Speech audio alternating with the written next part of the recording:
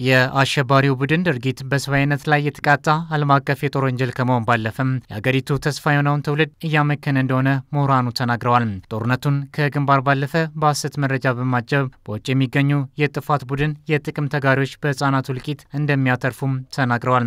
እውነታውን ለዓለም አቀፍ ማህበረሰብ የማሳወቅ የፕሮፓጋንዳ ጦርነቱን እንደ ግንባሩ ሁሉ በብቃት መመከት ይገባል ሲሉ በዲላ ዩኒቨርሲቲ የህግና አስተዳደር ጥናት ኮሌጅ መምህርና ተመራማሪ ያነሳሉ።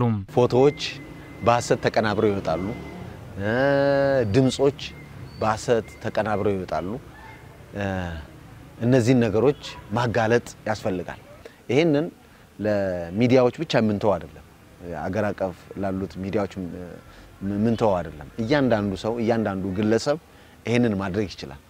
በትንሹ ትዊተር በመክፈት ያንን ማሳወቅ ይቻላል።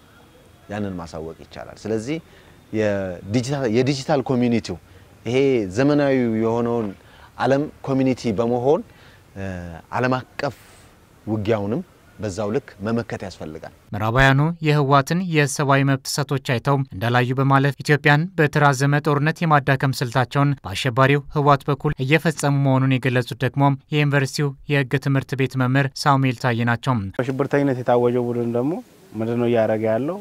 ይሄ የዛሬ ሶስት ሺህ ዘመን በቻይና ሀገር ሱንዙ በሚባለው የ war ሊቅ ይተገበር የነበረውን ይሄ ህዝብን እንደ ጋሻ መጠቀም ወይም people wave የምንለውን አይነት የጦርነት ዘዴ ነው እየተጠቀመ ያለው። በዚህ ህጻናትን ያሳትፋል፣ ሴቶችን ያሳትፋል፣ አረጋውያንን ያሳትፋል። በጦርነት ህግ ደግሞ እነዚህ አካላት ሊጠበቁ እንጂ ጦርነት ውስጥ እንዲገቡ አይፈቀድም። ሰብአዊ ፍጡርን የጦርነት ደጀን የማድረግ የውጊያ ስልት ጊዜ ያለፈበትና ትውልድ አምካኝ ከመሆን ባለፈ ህወሓት ቆሜለታለሁ ለሚለው የትግራይ ህዝብ እንኳን ደንታ እንደሌለው ያመላክታል ሲሉም ድርጊቱን ኮንነዋል። የምዕራባውያኑ ጫና አሁንም እንዳለቀቀን የምናየውና ወደፊትም እንደሚቀጥል የምናውቀው በኒውዮርክ ታይምስ ላይ ትልቅ ጋዜጣ የሚታወቅ ጋዜጣ ላይ በስህተት ህጻናትን ወደ ጦር ሜዳ ሲሄዱ ልክ እንደ ጀብዱና እንደ ጀግንነት አውጥቷል።